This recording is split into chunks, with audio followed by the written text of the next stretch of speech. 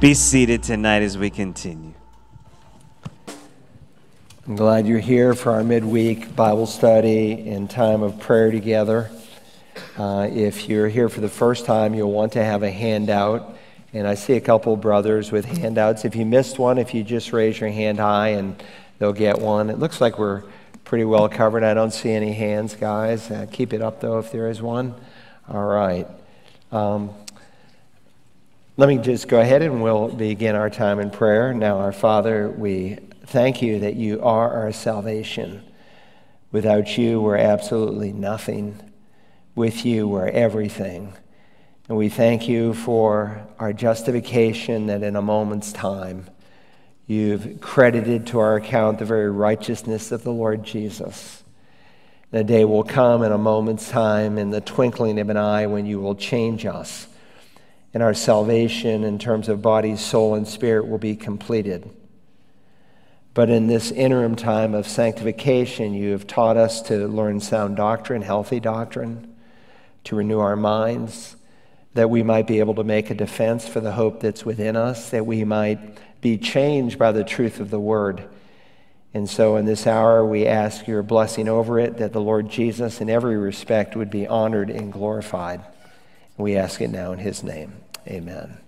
All right. Um, we are doing a series, a short little four week series on the coming future judgments. And this, I hope, will be the last night, and then we'll go back to where we were on our basic discipleship as we look at the crown of righteousness. But I pushed the pause button because of a plethora of questions that people have, because many of you grew up in churches where there's just one big judgment. Uh, the Bematos, the judgment of the just, uh, the judgment of the sheep and the goats, the ju- great white throne judgment. It all happens at the same time. And if you deny God's role for Israel, you really can't come to any other conclusion but that. But if you interpret the scripture for the second coming in the same manner that you interpret the scripture for the first coming, what we would call a historical, grammatical, contextual, plain interpretation, then you can come to no other conclusion. And so sometimes people will apply that principle for interpretation for the first coming, but not for the second. And so they spiritualize or allegorize truth that refers to Christ's future judgment and his future return. But there's no room in Scripture to do that. How do we know our hermeneutic? That is, hermeneutics is the 50 cent theological term that is used to describe how we interpret the Bible. How do we know how to interpret the Bible? God contains within the Bible how to interpret the Bible. So, for instance, in Daniel 9, the prophet is reading the prophet Jeremiah, the 25th chapter, trying to discern how long they'll be in Babylon. They'd been there for decades. And as he's poring over the prophet Jeremiah in the scroll, he reads 70 years. So, how does he interpret it? Literally. And so, when you see either Old Testament prophets interacting with each other or the New Testament interacting with the Old Testament, they always apply a literal hermeneutic. By that, we do not mean that we don't recognize similes. Something is like this uh, we were in the Bible line on uh, Tuesday, and we mentioned that we'll be like the angels in heaven. We won't be angels, but that's what some people have in their mind. Oh, he's an angel now. No, he's not. There's a fixed number of angels, holy and elect and fallen, that have rebelled that God has made, never to create any more. That's a simile, or sometimes there's a symbol, but the symbol is interpreted within the Bible itself, and then once you interpret the symbol, you believe it literally. So we're not dismissing figures of speech. I am the bread of life. He's not a loaf of bread. I am the door. He's not a four by six door. So we're talking about a contextual, historical, grammatical, literal interpretation of Scripture. And so, as you do that, we have noticed here's a chart, and we'll just keep the chart up if they're able to bring it up. I know I wasn't sure if they were able. Yeah, there it is. Just leave it up the whole time, and then on occasion I'll refer to it for those who are live streaming. And we have quite a number who live stream in other parts of the nation on Wednesday. But this chart is right here. in your uh, notes tonight. And so you can see the next event in God's prophetic schedule is the rapture. Now, some people think the next great event is the second coming. They're called uh, amillennialists. There's just one big return of Christ, and that's it. Again, you have to allegorize, spiritualize all kinds of scripture to come to that conclusion. The church, and by the way, everyone believes in the rapture. Sometimes people will say, well, you know, the rapture is held by just this weird, quirky group of evangelicals. No, everyone believes in the rapture. It's just like, as I mentioned a few weeks ago, everyone believes in election. The question is, how do you interpret election? How does it unfold? But everyone believes in election because it says he chose us before the foundation of the world.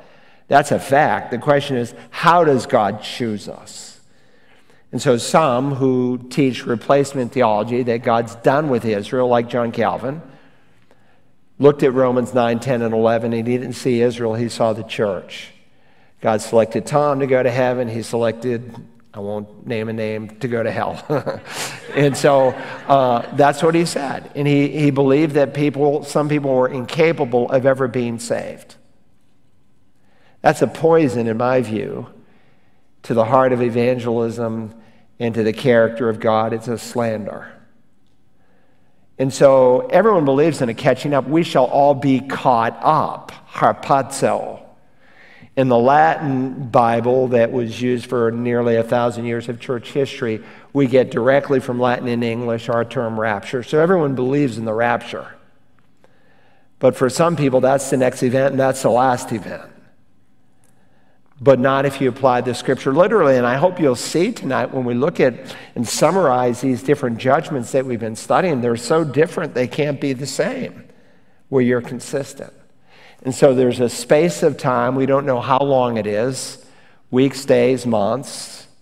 It appears to be very short, where the 70th week of Daniel's prophecy does not kick in until the one world leader He's best known by the term Antichrist, a term used only by John in his first epistle, but there's over 30 names given to him in the Bible, in the Old and New Testaments. We studied that in God's prophetic schedule. He signs a peace treaty with Israel. It's never happened, ever. So we just write those scriptures off from the prophet Daniel and say, well, they're not going to happen. And the Lord himself in Matthew 24 references what Daniel speaks of. He protects Israel for the first half of the seven years. That assumes Israel's back in the land, which they were not there for 1900 years. God could have pulled this off at 500 AD, and then he would have maybe had a greater space between the rapture and the coming of the Antichrist and brought all the Jews back to perform the final seven years. But He's done it in your lifetime and my lifetime. It's amazing what we are living in this time in human history. Seven years long, in the middle of the 70th week, the 70 week prophecy is found in Daniel 9. And if that's not familiar to you, I have four messages on that in our Daniel series. So he gives 490 years of Israel's history. Everything but the last seven years, and the last seven years are still future.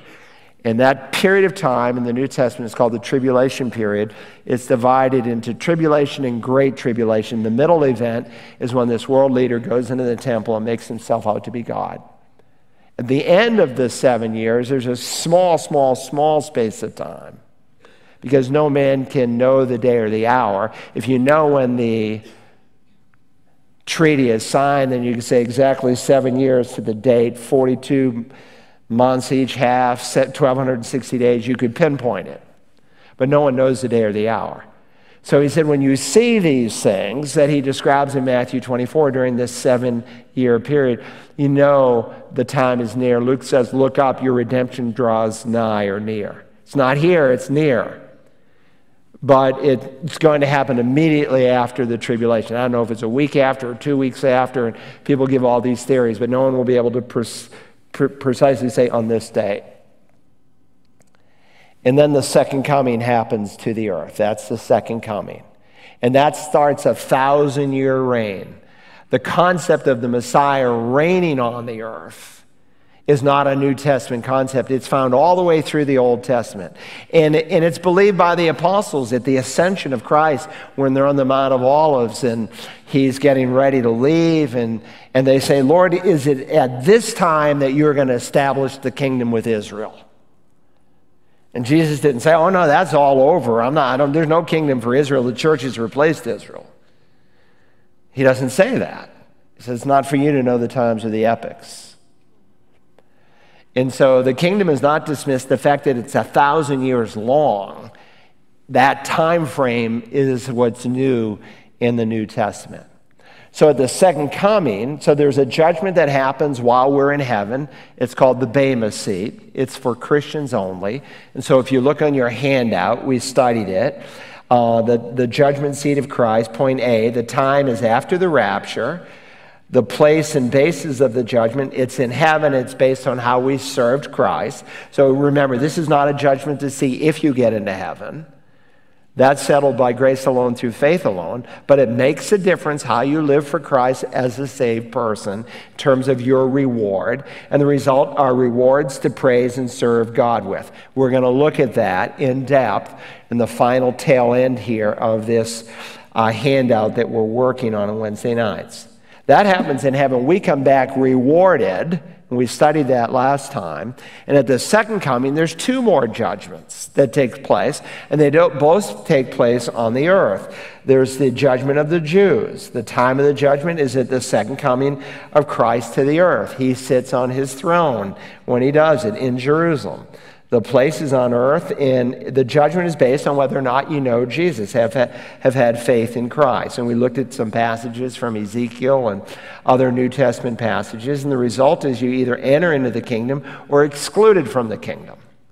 So, not all Jews are saved, only believing Jews, but he can say collectively all Israel will be saved in the sense that the majority of the Jews will acknowledge Jesus as Lord, but not every Jew. And that's clear from Romans 11 and Ezekiel 20. Um, then there's the judgment of the Gentiles after the tribulation as well at the second coming. The time, next page, at the second coming of Christ to the earth. The place and basis of this judgment is it's on the earth. If you remember, look at Matthew 24. I, I, again, I don't want to linger and review everything that we've done. But for instance, in Matthew chapter 24, and we'll hit on a few of these verses uh, later this evening, he, he's very, very clear when he describes this, or Matthew 25, he says in verse 31, But when the Son of Man comes in his glory and all his angels with him, then he will sit on his glorious throne. So it's what's pictured in the Old Testament when Messiah comes back at his second coming, he's going to rule where? In Jerusalem. And again, the thought that it's a thousand years long, that's just taught in the New Testament. But the fact that the Messiah will sit again on David's throne, that's a New Testament doctrine. And so we've been in the time of the Gentiles. Jesus spoke of that. The time of the Gentiles began in 586 BC with Nebuchadnezzar coming and removing the Jewish king. There's never been a Jewish king since that time ruling in Israel. The next king who will rule on David's throne will be the King of Kings himself. So that judgment took place on the earth. Um, and again, uh, it's based on faith in Christ. It's displayed by how they treated the Jews during the tribulation. So remember, we went through that whole thing. He's got those on his left, the goats, the sheep on his right. He's separated them. And he'll say to those on his right, you know, uh, you visited me in prison, you did this, you did that, you did that. And then when did we do this, Lord? Whatever you did to the least of these, my brethren, you did to me. So there's three groups of people. There's goats who are, in the end, condemned and thrown into the eternal lake of fire. And there's sheep who are welcomed into the kingdom. And the third group is my brethren. Who is he speaking of contextually? Jewish people. So remember, God said for all this to happen, this final seven years, Israel has to be in the land. And because they weren't there for 1900 years, many assumed, well, maybe Augustine and Calvin and Luther was right. That the church has replaced Israel. And those guys were right on a lot of things, but they were woefully wrong in their eschatology and their study of last things. Now you got guys like Augustine who will say, you know, on the essentials, unity, on non essentials, there's some latitude and all things love, to paraphrase him. But if you read his writings, like on the kingdom of God, he scorches any living believers who believe that Messiah is going to come back, that he's not done with the nation of Israel, and God will rule on the earth with the Jews. So, I mean, he didn't really apply the very thing. But it's somewhat of a half truth. In that when God speaks of th- something that's true and doctrinally, it's not a non essential. Take baptism, for instance. There's infant baptism, there's post conversion baptism. They're not both right. Somebody's right, somebody's wrong. There's no in between. Now, is baptism a test of salvation? Certainly not. It's not a test of fellowship. It's an act of obedience, and it's assumed in places like Mark chapter 16 that a true Christian will do it. But he's writing that in the context of the first century where people understood baptism. But it's so convoluted 2,000 years later, people don't know what to believe.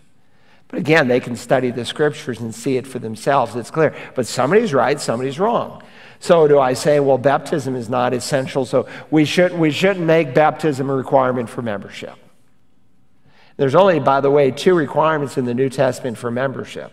One is conversion, that you're a member of the universal body of Christ so that you can become a member of the local assembly, and baptism. That was your confession of faith in the first century. Nothing beyond that. And I know churches have these 20 week courses, and you have to believe these five points of Calvinism and this and that to become a member of the church. That's just folly.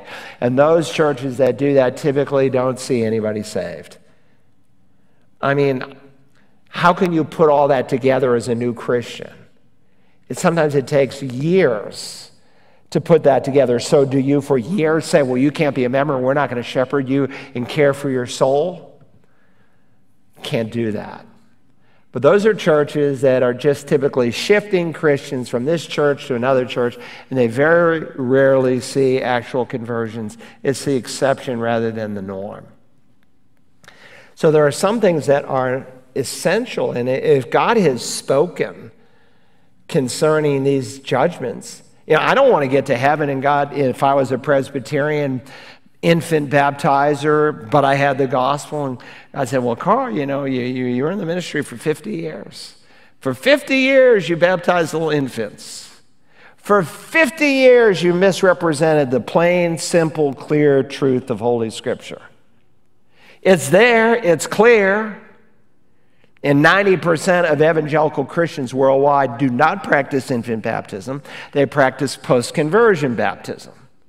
So it's the exception to the rule. And there's a reason. Because the plain, simple reading of Scripture is clear. You, you, you have to read into the text something that's not plainly there. So I don't want to get to heaven and say, well, you misrepresented an important part of the Great Commission for 50 years. So it's not non essential in that respect any more than the things that we're studying concerning the return of Christ are non essential because when you understand eschatology, it changes your life. What brought the great revival in America, the first and second great awakening? It was eschatology, it was the study of last things, where they revived the, the doctrine that the church is distinct from Israel and it resulted in the conversions of thousands of people. So we saw that how people treat the Jews, again, the Jews have to be back in the land. My brethren. It happens in Israel. In fact, the prophet Joel tells us it happens there in the Temple Mount in front of the Valley of Decision that today we call the Kidron Valley. It's called that in the New Testament. So if you look at the Temple Mount, you see that dome. You're standing on the Temple Mount, you look directly across, you see the Mount of Olives. In between that, there's a valley. That's called the Kidron Valley or the Valley of Decision. That's where this judgment is going to take place, according to the prophet Joel. The New Testament describes it in great detail in terms of what will happen. The liberal takes that and teaches salvation by works. Oh, yeah, God's going to look at your works, and where, again, that would contradict what Jesus taught all the way through Matthew's gospel. You're saved by grace alone, but the grace that saves is never alone. Your life changes, and if your life hasn't changed, especially for these people in this seven year period, because what's going to happen to the Jews? All the nations of the world are going to go against Israel. All the nations. That's what the Old Testament prophets wrote. That's what the New Testament affirms in the Revelation. Are we seeing the setup for it? Of course we are. The Jews are back in the land.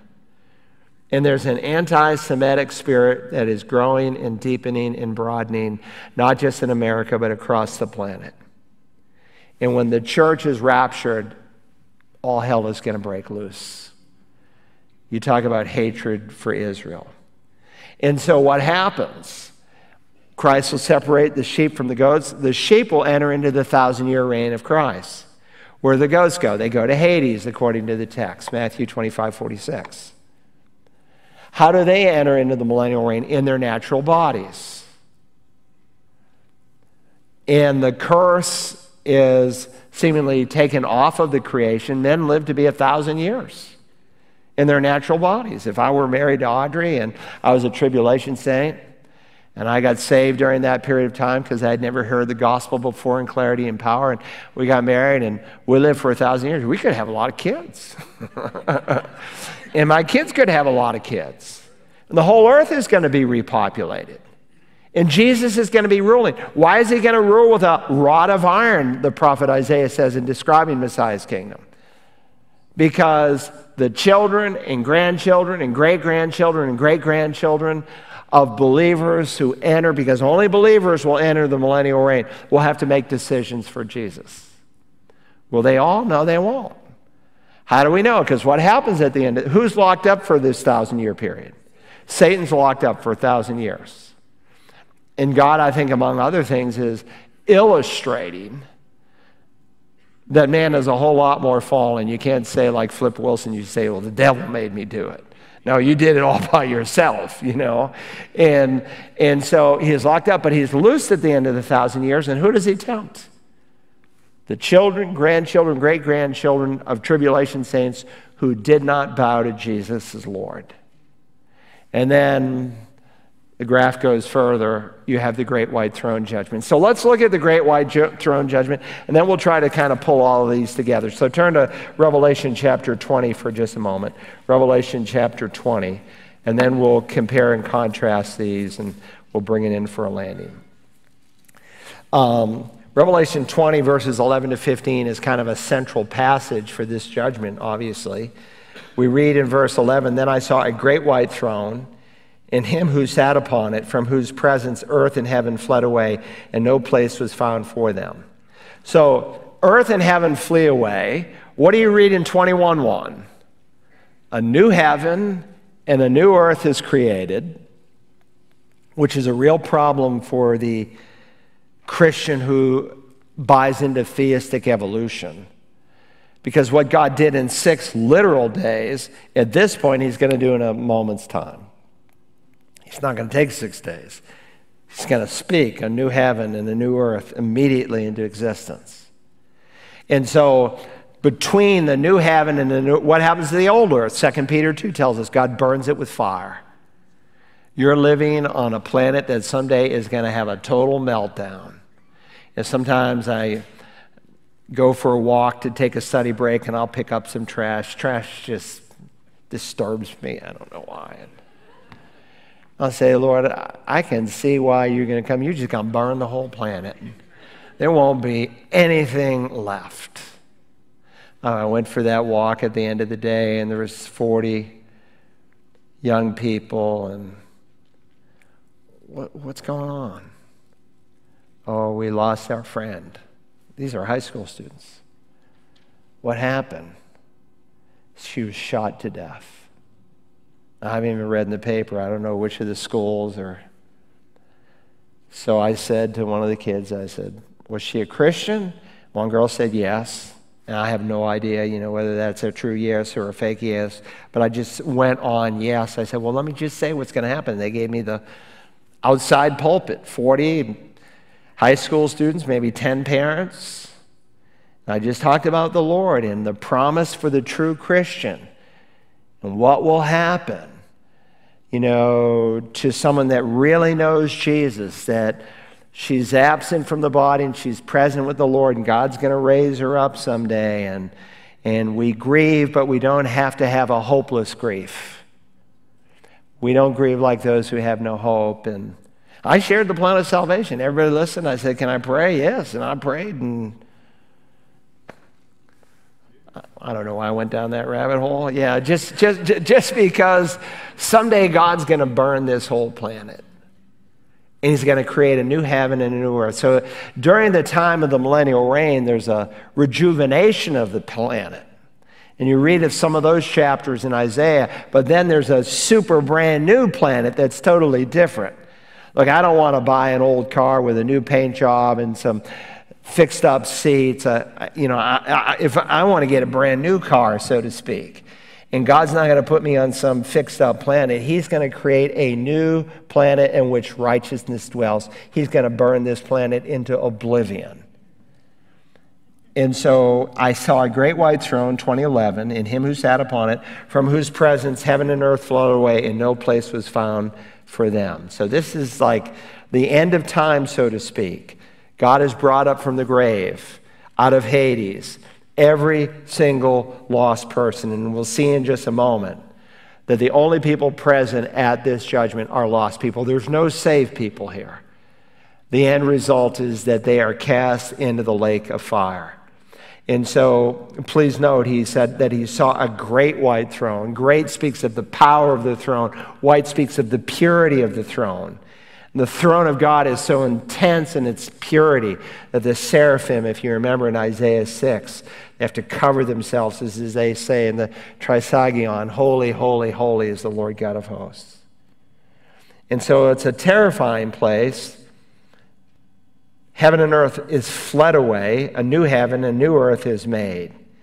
And so during this in between time, where the old planet is destroyed, the old universe is destroyed. Just before God creates a new universe and a new earth, and on the new earth, the new Jerusalem, we call that heaven, absent from the body, present with the Lord, where? In the Father's house.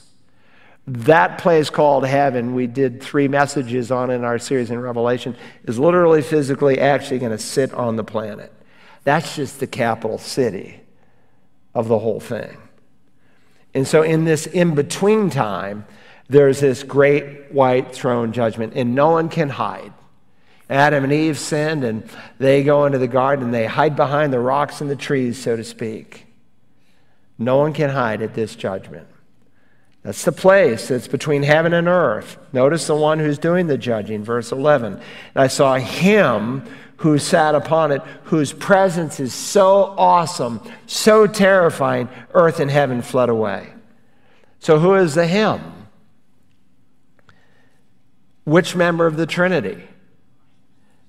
God the Son. He's not the Lamb of God. Here he is the Lion of the tribe of Judah. He's not the Savior of the world. At this point, he's the judge of the universe. You say, Pastor, how you, can you be so sure that this is not God the Father or God the Holy Spirit? Um, if you were here for our Revelation series, you might have written out in the margin John 5 22. Let me read it to you. For not even the Father judges anyone but he has given all judgment to the Son. Acts 10:42, Peter spe- speaking, and he says that uh, Jesus is the one who has been appointed by God as judge of the living and the dead. Or Acts 17, Paul's on Mars Hill, and verses 30 and 31, I think it is. He says, God has overlooked the times of ignorance. He's declared to all men everywhere that they must repent. Why? Because he's fixed a day in which he will judge the world, having appointed a man, Jesus, by raising him from the dead. So the one who saved the world and people who ignored his saviorship, who ignored the provision that was made for them, he will judge them. And he will do it with fairness. Notice again the people who are present. Look at verses 12 and 13. We read now, And I saw the dead, the great and the small, standing before the throne, and books were opened. Circle the word S on the first books. And then another book, singular, was opened, which is the book of life. And by the way, it's also called the Lamb's book of life in the Revelation, same book. And the dead were judged from the things which are written in the books according to their deeds. The sea gave up the dead which were in it, and death and Hades gave up the dead which were in them. And they were judged, every one of them, how? According to their deeds. Now, let me pause here and define some terms because someone was asking me a question as we went out last week about various resurrections. There's two kinds of resurrections in the scripture. Two kinds. There's the resurrection of the righteous and the resurrection of the lost, or sometimes the resurrection to life and the resurrection of judgment. If you drop back here to verse 4, look at verse 4, um, Revelation 20. And I saw thrones, and they sat upon them, and judgment was given to them. And I saw the souls of those who've been beheaded because of the testimony of Jesus, because of the word of God. By the way, this never happened in the first century. So, what does your amillennialist do? He just spiritualizes all of this. You, he says everything happened in Matthew 24 and 25 by 70 AD. Everything happened in Revelation, for the most part, already historically. The text says they get their heads cut off. And it says it more than once in the Revelation. Do you just spiritualize that? These are people who stood for Jesus. They're called tribulation saints. These are people who are saved after the church is removed. And those who had not worshiped the beast or, or his image, who's the beast? The Antichrist, right? One of his popular names in the Bible. They refused to worship him and had not received the mark upon their forehead or upon their hand. What's the mark? 666. Revelation 13 underscores that. And in Greek, like in other languages, every letter in Greek has a numerical value. So alpha is one, beta is two, and so forth. And it grows. And so you can take the Antichrist, who nobody knows who he is because we can't know who he is until after the church is removed, Paul says. So anyone who says, well, I think the Antichrist is so and so, they don't know. In fact, they usually pick some really famous person when the prophet Daniel says he's a little horn. He's diminutive in, in stature. He's an unknown person who quickly rises to prominence.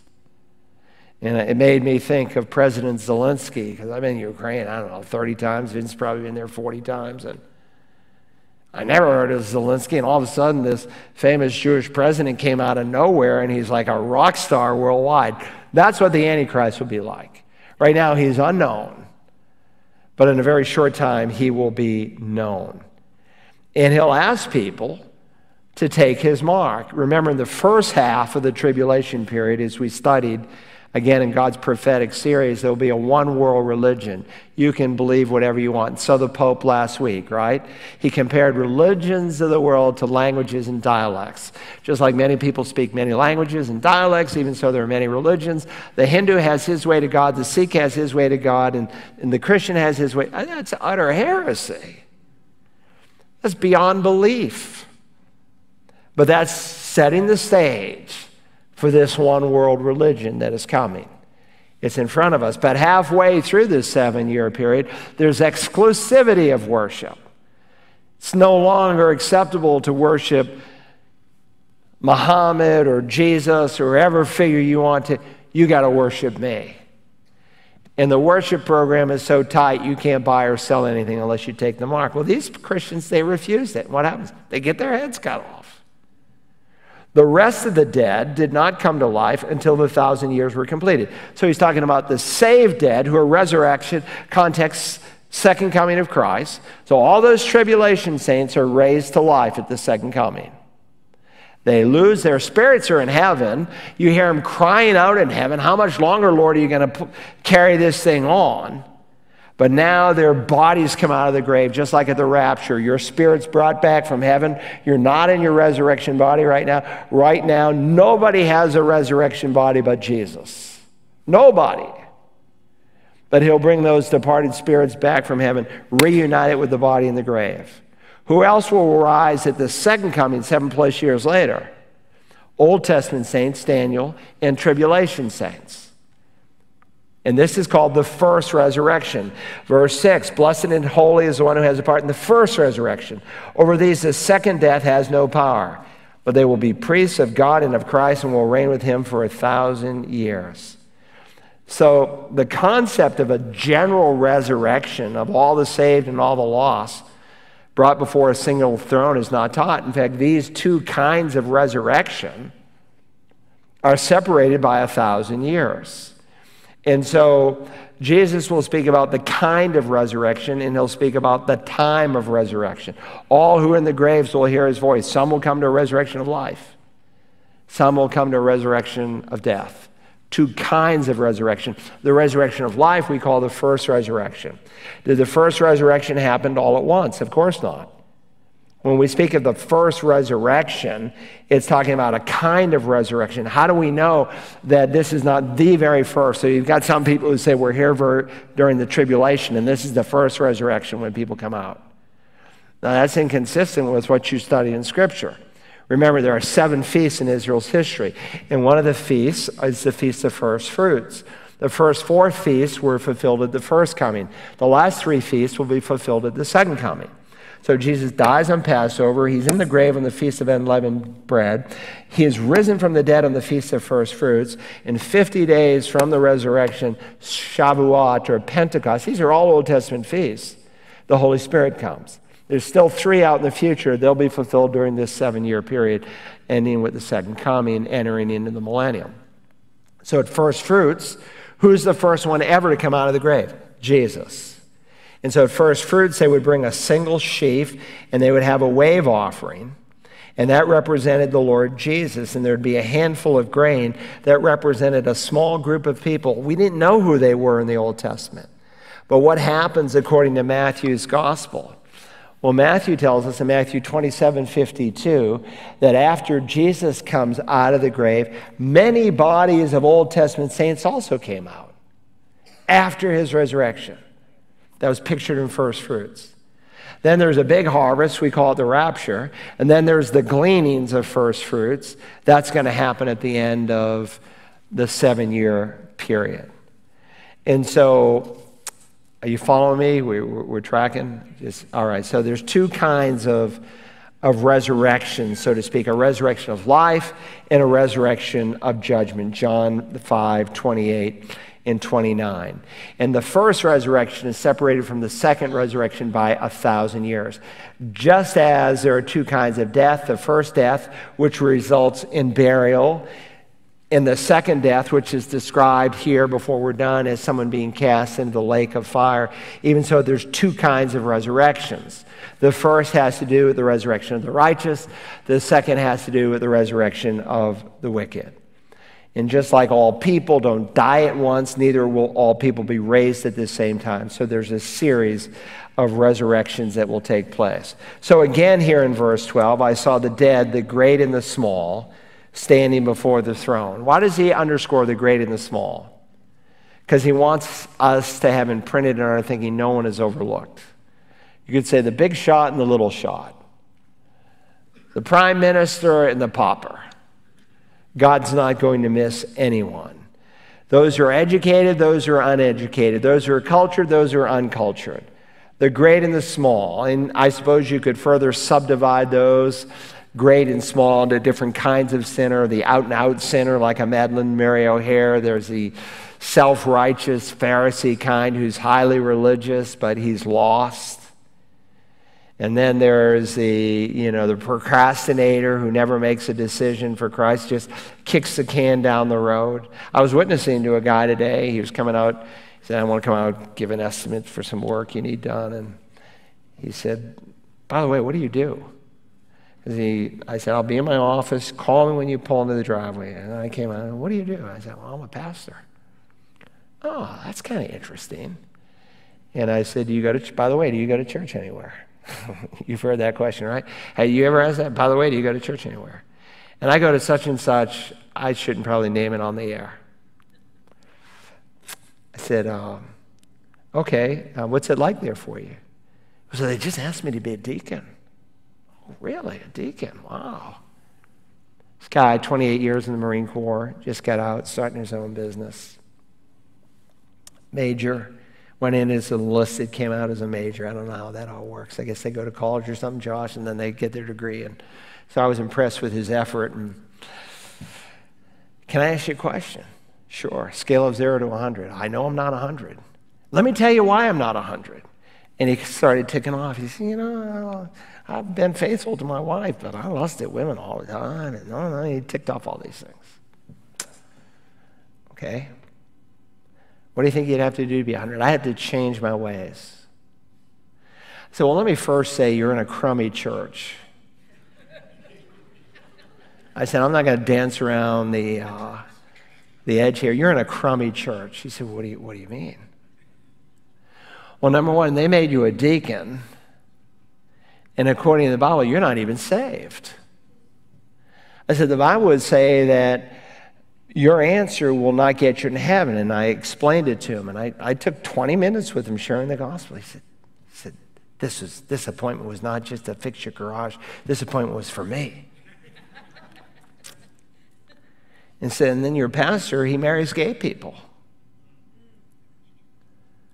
He says, he does? I said, yes, and you're part of a denomination that in 2015 officially sanctioned gay marriage. I am? I'm saying, look, I'm not telling you you need to come to Community Bible Church, but you need to go to a church where they at least believe the Bible. Why wouldn't they believe the Bible? And so we kind of went on from there. My point is, is the great and small can be classified, and I suppose beyond the procrastinator, there's the church member who's lost. And there's a lot of folks like that where they try to achieve righteousness through some other fashion. Now, notice again the principle by which this judgment is happening. I saw the dead, the great, and the small standing before the throne. Verse 12, the books were open, and again they're judged according to their deeds. Then, a second time in verse 13, they're judged how? According to their deeds. But notice verse 13 the sea gave up the dead, which was an important first century notation because if you read literature outside of the Bible, there's a false Greek myth that if you died at sea, you were annihilated and you could never go into some afterlife. And John wants to underscore that even if you're lost at sea, God's going to get you. Doesn't matter where you died, how you died. If someone dropped an atomic bomb uh, on me, I would be incinerated. But God will find my body someday. And so it's an interesting drop here. And death and Hades gave up the dead which were in them. Death is a synonym for here known as the grave, and Hades, the place of judgment where the soul is. And God's going to drag them all out. And notice again, they're judged according to their deeds. Why are they judged according to their deeds? Well, the scripture says, like in the book of Ecclesiastes, for God will bring every deed into judgment, including every secret thing, whether it's good or evil. Or Paul said in Romans 2, God will judge the secrets of men through Jesus Christ.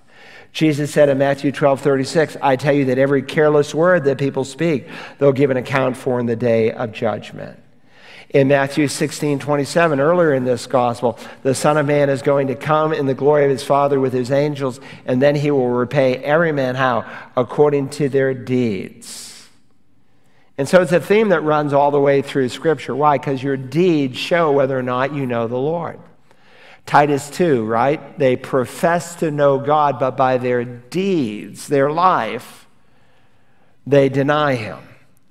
And so, in the perfect justice of God, the Lord is going to mete out punishment according to their deeds. Think about it. We've already studied this in terms of the Bematos.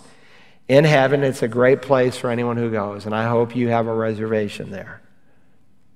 But it won't be the same for everyone there's degrees of rewards. And again, we're coming to that and what that will look like and how it will flesh out during the millennial reign in, in eternity future. Well, there's degrees of punishment. Hell is awful for anyone who goes there. Listen to this Matthew 10, 14, and 15. Whoever does not receive you nor heed your words as you go out of that house or that city, shake the dust off your feet. Truly, I say to you, it will be more tolerable for the land of Sodom and Gomorrah in the day of judgment than for that city. You're kidding me. That's what he said.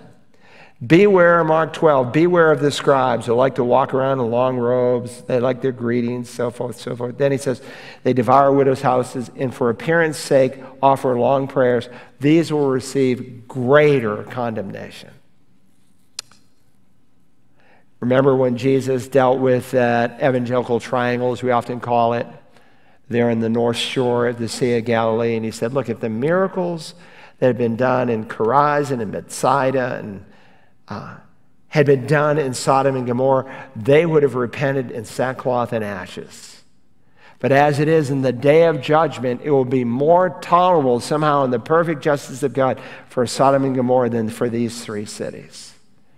So hell is awful. I don't want to dismiss that because when Jesus describes it in general terms, it's awful for anyone who goes there. But it's not the same. And so, why does God wait to the very, very end of time to pull off this judgment? Well, you know, Hugh Hefner died about a decade ago, but he spent his whole life in perversion, producing pornography, and towards the end of his life, he got more creative and used all the various video methods. And people are still being polluted by his work. The people whom he polluted, who followed his example, are continuing to pollute people. And God, who is a perfect God of justice, will cross every T and dot every I and he'll look at the full impact, even the impact that some have after they die. There are people like Karl Barth.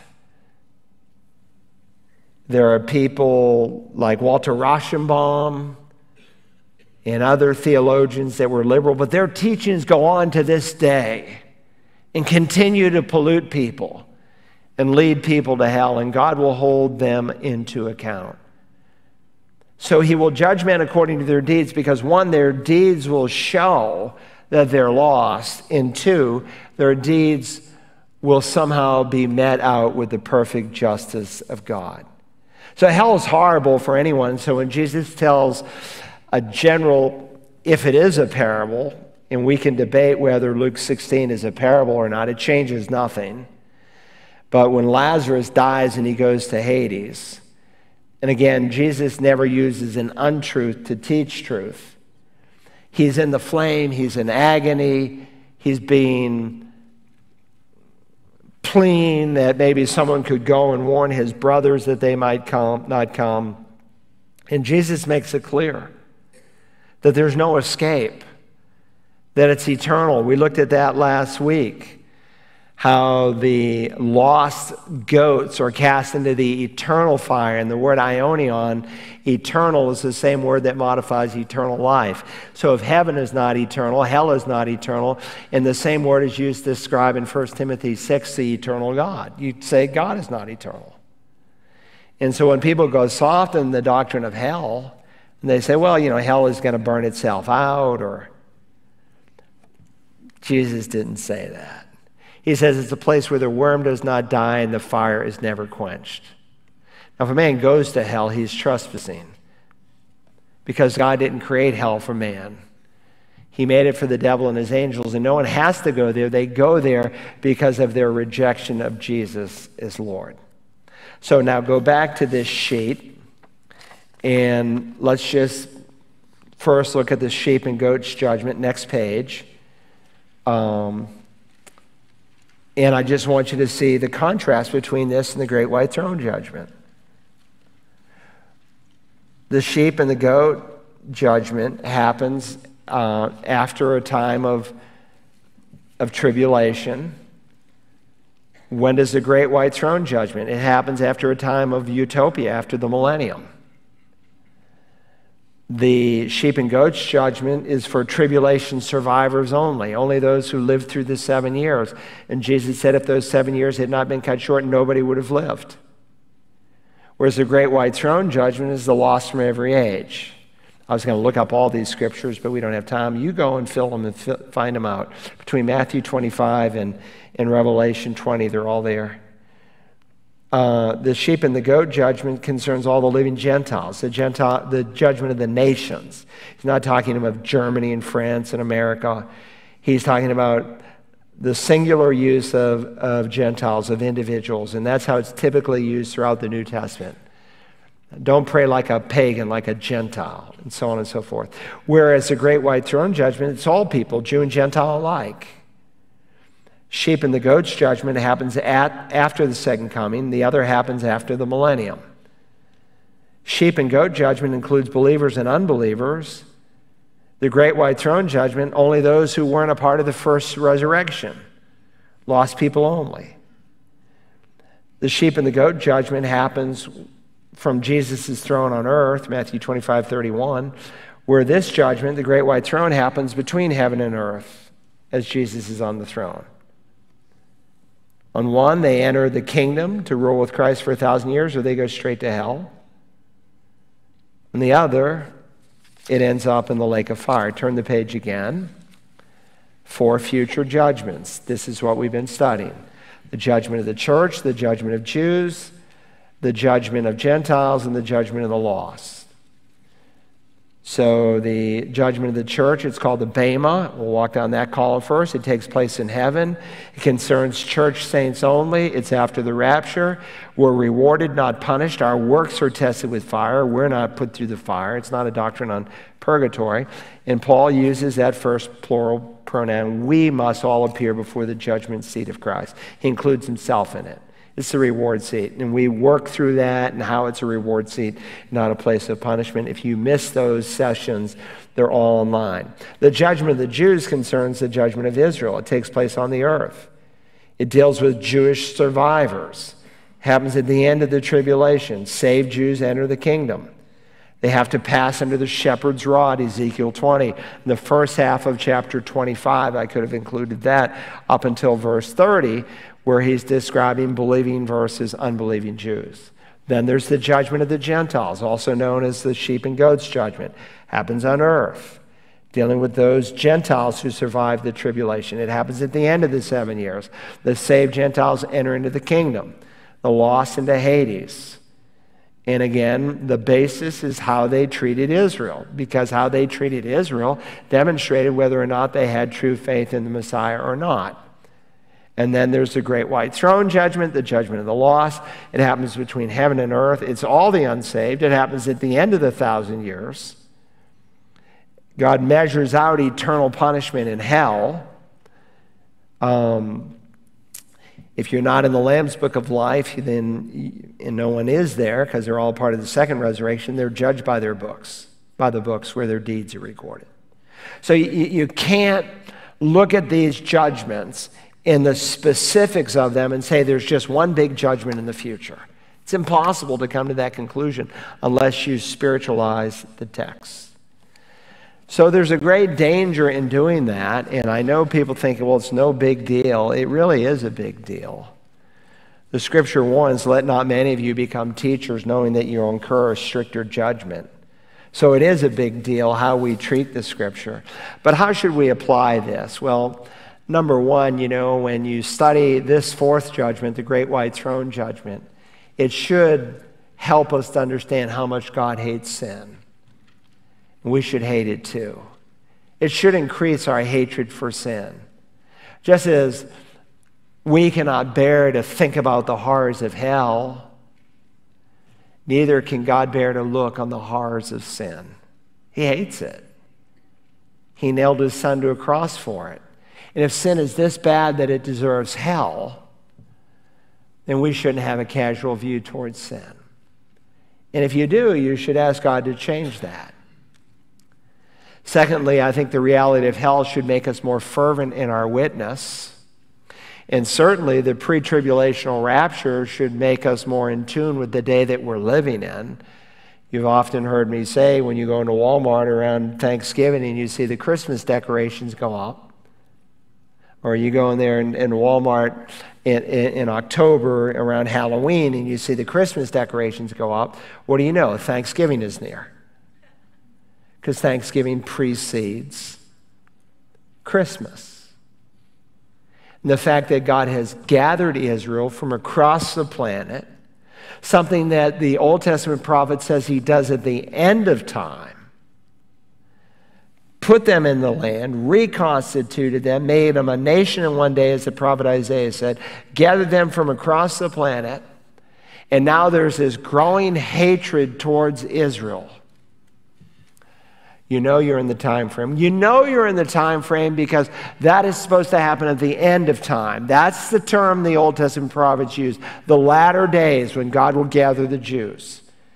Moses spoke about it, preached about it, never happened any time in the Old Testament. There was one deportation to Assyria, a second to Babylon.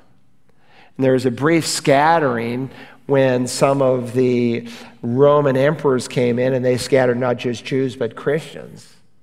But there was never a time in human history when the Jews were scattered to the ends of the earth in the Old Testament until Jesus comes on the scene and he tells us when it's going to happen. And he tells us it's going to happen with the destruction of the temple in 70 AD. They'll scatter you to the four corners of the world. And what happened? Exactly that. And by 136, they rename Israel to, they call it Palestinia to mock the Jewish people. It's from the root word Philistine. And he calls it Palestinia, Hadrian, the emperor, to mock them and to show his hatred. And by 136, you can't live in Israel. Here they are back in the land. How much time we have? I don't know. I told someone last week, I said, and I often use this illustration, I said, let's just say you know you had 20 years from now. 20 years you knew for sure Jesus is coming. Would you do anything different tomorrow when you woke up? Well, not really. I mean, I still have to go to work. I still need to put food on the table. Still need to take care of my kids. That's exactly right. You occupy until he comes. But the fact that we know we're in that final time frame, though no one knows the day of the hour, but we know the season it should make us more passionate in our witness. And when we think about the horrors of hell and what people are headed towards, that should put compassion in our heart. I was on the base and I was talking to one Marine. My son brought me on. I hadn't been on Parris Island in years. I didn't even know they changed the entrance. So I asked Walter, when did they change the entrance? You know, I think it was in 2010. And I said, gee, it's been a long time. And the base has gone to pot since, I mean, I can't believe how run down it looks. I thought, Marines, man, they starched their shirts, you know, they're squared away. What a, not the image we should be presenting for all these visitors who come on the base, in my humble, incorrect opinion. uh, but I'm talking to this, uh, this captain, and he loves me, and he comes here on occasion, but his family lives in another state, so every weekend he goes home and he says, Well, you know, Pastor, I, I believe in what Francis of Assisi said. I, I, I, I witness with my life, and when necessary, I use words. I didn't want to correct him in front of his major, but I hope God will give me a chance to talk to him about that because his major is so open to the gospel. But that is such a lie. He who witnesses with his life only only witnesses to himself. People aren't saved by looking at your life. It might give you a platform. People are saved by hearing the death, burial, and resurrection of Jesus. The gospel, the power of God unto salvation. And so we should be passionate in our witness. We should be praying and asking God for opportunities to share the gospel. And if you're not sure of your salvation, you have family members who are not sure. You should do everything in your human power as you pray and seek God at the throne of grace that they might come to know Jesus. Let's bow in prayer.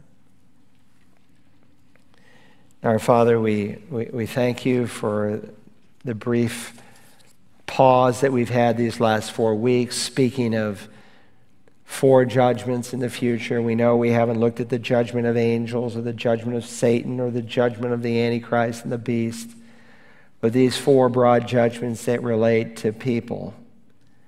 We're sobered by it. We know, Lord Jesus, you told us that we'll stand before your seat. And we thank you that that doesn't put us under pressure because we know that you've given us the Spirit as you promised, that as we're yielded to Him and we rely upon Him, that you're able to perform through us the works that you've ordained beforehand. And in eternity, you reward us for it. In ourselves, we're frail. In ourselves, we're afraid to speak. We recognize that we're in a spiritual battle, and if Satan could seal our lips, he would. But help us to be obedient, to preach the gospel to every person under creation where you give us open doors. We thank you because of this imputed, credited righteousness that you've given to us, that we can come to your throne of grace tonight. We bring this 16 year old member, Camila Ramos, and the fall that she's had and the hip that she's fractured. So young, help her to get through it. Use this in her life in a great way. We pray for a complete and total healing without any residual problems in the future. Thank you for answering the prayers of many in this church for Brooke Erickson's dad at death's door. Thank you for Pastor Josh as he is witness to him. We know that what he really needs is salvation, to be free from alcohol. And only you can do that. But we pray that through the hardship that he's been through in this close brush with death, that he would seek you. We thank you for Casey Barrett. Thank you for his commitment in our church family to care for families, to help them to have better marriages. And we know through this accident at work, he has been struggling. And we just ask that you might intervene through whatever means you choose to bring healing.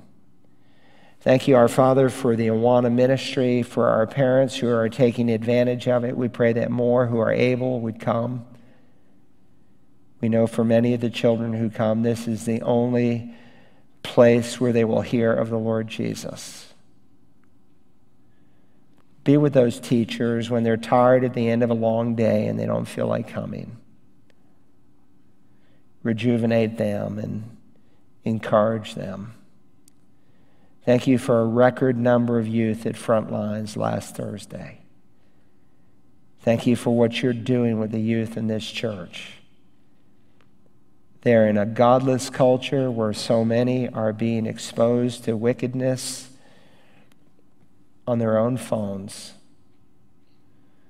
So help them as they face opposition to recognize that all who desire to live godly in Christ Jesus will be persecuted.